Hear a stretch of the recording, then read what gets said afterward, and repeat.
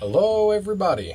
Okay, so I wanted to show you what has been happening here on the bench and uh, what I'll be doing uh, in the future. As some of you know, I have also been working on the Queen Elizabeth II, and it has currently been put aside for quite a while as I was waiting on the custom decking to be made for it. Um, I heard back from my laser guy uh, Vance over at Salt Lake City Laser Etch that it was finished up on Sunday. so I went in today to pick it up, and this decking came out better than I could have hoped for. It looks really good. um, I used mahogany wood instead of the normal teak because mahogany has much finer grains to it. And when he put it on his laser and cut it out, it looks like it'd be actual decking. Whereas if I did use the traditional teak, then when I cut it out, it would look like I took a scale size piece of wood to us and put lines in it. It would not look right. Um, so I decided to do it in mahogany because it's about as close as I could get to teak with having very little grain. And it looks really good. It looks like an actual deck. so I wanted to show you guys what I'll be doing on that.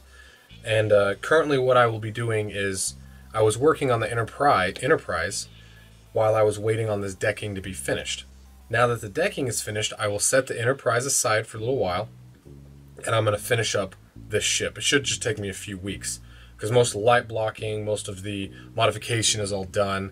Um, so it should not take terribly long. I will paint it, assemble it, and then I will put the decking on after it's all assembled because that should be the last thing. It's a very delicate process, and um, the last thing I want to do is get a piece of paint on the wood.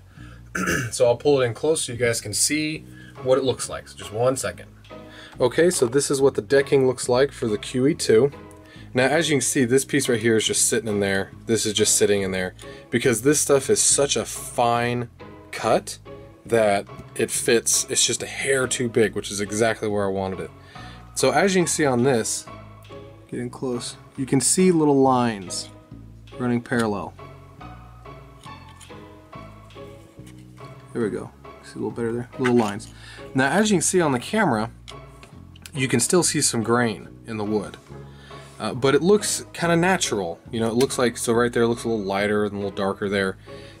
it, it has a much more natural look. Whereas if I would have used teak, this section right here specifically, it would have, have been this huge grain coming around.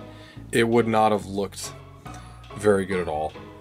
So um, I also got the helicopter pad lasered in there.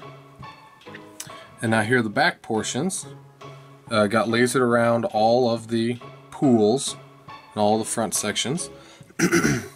so it it looks really good. I'm really pleased with it. This section, as you can see, these are where the holes are for the lifeboats. So after, um, or before I attach this section to the hull, I will go through and drill the holes for the um, life rafts. But, alright guys, I just wanted to show you that, and also show you, uh, refresh you that it will have figures, little extra added, extra added parts, as well as this right here, which is railing. The whole ship around the whole thing is going to be lined with railing. So that railing will very probably be the very last thing that I put on it, as it'll be the most delicate, and some of the rail railing needs to sit on top of the wood. So it will be a little bit of a delicate process, but I think in the long run, it's going to look really good. I mean, the, the camera washes the lines out a little bit, but in person, it looks really, really good. I am extremely pleased with this, and I'm really excited to see how it looks. but alright guys, I just wanted to give you a look-see at it, show you this is what I'll be working on the next few weeks to get it finished up and sent off. It's been a fun build and time to finish her up. Alright guys, well hope you've been enjoying the build. If you have any questions, let me know.